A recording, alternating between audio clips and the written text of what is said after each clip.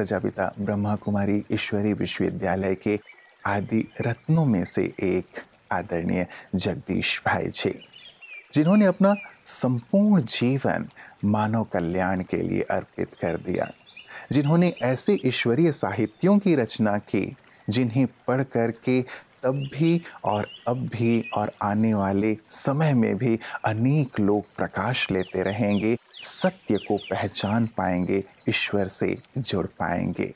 प्यार से परमात्मा और ब्रह्मा वत्स उन्हें संजय के नाम से भी संबोधित किया करते थे। ऐसी दिव्य महान विभूति का आज 12 मई को स्मृति दिवस है।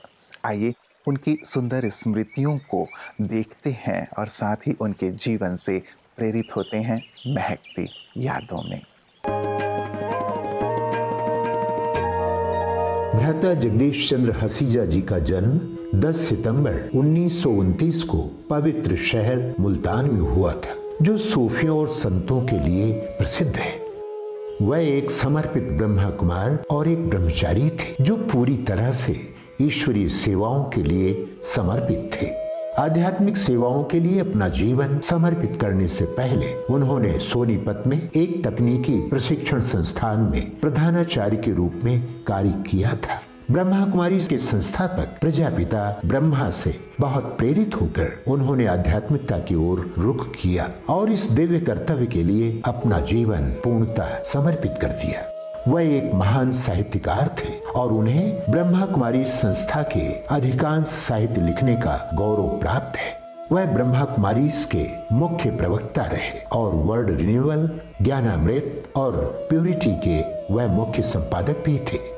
एक सरल और सीधे साधे व्यक्ति, उन्होंने ईश्वरी सेवा में बहुत रुचि ली और बहुत मेहनत भी की। वह एक महान दूरदर्शी थे। और उन्होंने संगठन को उसकी वर्तमान स्थिति और अंतर्राष्ट्रीय पहचान तक ले जाने में बहुत योगदान दिया। वह एक मिलनसार व्यक्ति थे और उन्होंने ब्रह्मा कुमार भाइयों और ब्रह्मा कुमारी बहनों की प्रतिभा को विकसित करने में पर्याप्त रुचि ली। उनकी सलाह थी कि हम जो भी प्रयास करें, लेकिन हमारा जीवन एक योगी का होना चाहिए। ईश्वरीय महावाक्यों से हमें ज्ञात हुआ कि वह व्यास है, जिनका बौद्धिक विकास कल्पना से परे है। परमात्मा ने उन्हें संजय की उपाधि भी प्रदान की। वह उन चीज़ों को देख सकते थे जो सामान्य लोग नहीं देख सकते। भ्राता जगदीश चंद्र लोगों के सच्चे पोषण करता और पालन करता थे। उनके पास सिखाने की कला थी और उन्होंने कुछ दादियों सहित असंख्य भाइयों और बहनों को अध्यात्म के मार्ग में मार्गदर्शन किया।